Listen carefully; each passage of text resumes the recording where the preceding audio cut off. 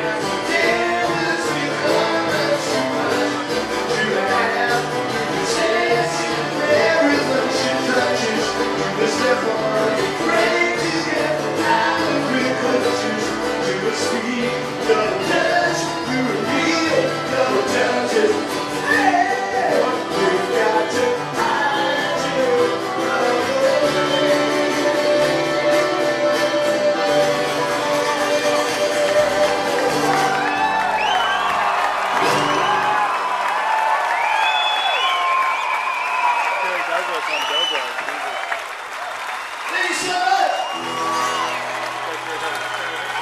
This is something about a gentleman who uh, he didn't uh, he ignored the advice of all his friends and he finds himself not just up at the top of the playbill,